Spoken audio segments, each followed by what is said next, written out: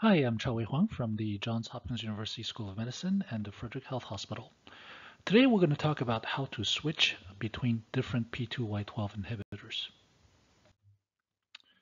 Switching between different P2Y12 inhibitors is very common. Uh, almost one in five ACS patients switch at some point during their hospitalization.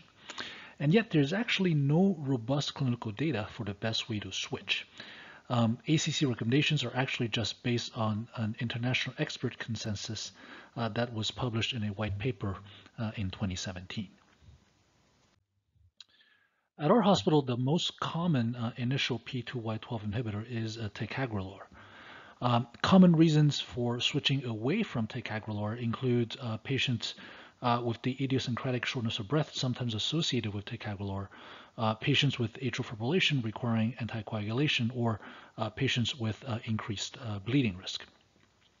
As I said, um, there is no robust data for how to switch, um, but expert consensus is that 24 hours uh, is the sweet spot after the last dose of ticagrelor uh, before giving a um, loading dose of either clopidogrel or prasugrel.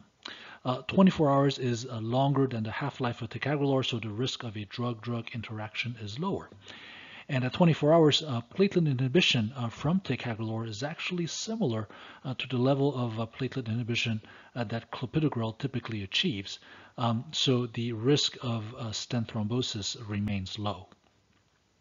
Um, for Cangrelor, um, expert consensus is that it is actually safe to wait two to three days uh, after stopping ticagrelor uh, due to residual meaningful level of P2Y12 inhibition even at that point.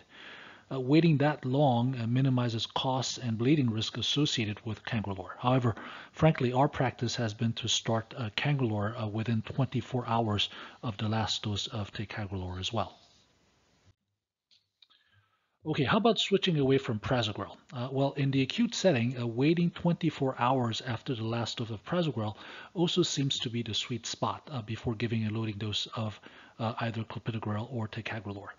Uh, but if you're more than 30 days out uh, from the index event, uh, your platelets are likely to be less angry. Um, so before, uh, because uh, effect uh, lasts longer, uh, expert consensus is uh, to just switch to a maintenance dose of clopidogrel or ticagrelor rather than having to use a loading dose. Um, for Cangrelor, again, because of prasugrel's more persistent uh, platelet inhibition, expert consensus uh, say that uh, it, it is safe to wait three to four days uh, before uh, starting Cangrelor. Um, again, our practice has also been to start Cangrelor within uh, 24 hours of the last dose of prasugrel.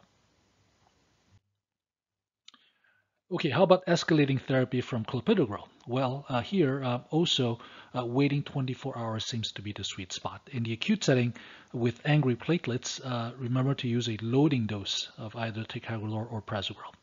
Uh, if you're more than 30 days out, uh, expert consensus is that it is safe to just switch to a maintenance dose. Uh, for Cangrelor, uh, expert consensus is that it is safe to wait for two to three days, but again, our practice has been uh, to start within 24 hours. All right, finally, what about uh, switching to an oral P2Y12 inhibitor from Cangrelor? The thing to remember here is that to avoid a drug-drug interaction, uh, clopidogrel and prasugrel should not be started until after the cangrelor infusion has stopped.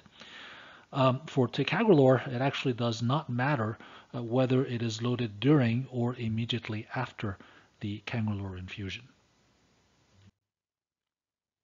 All right, so here is a nice figure uh, from the uh, 2017 paper summarizing the expert consensus uh, recommendations uh, for switching between oral uh, P2Y12 uh, inhibitors. Thank you for watching.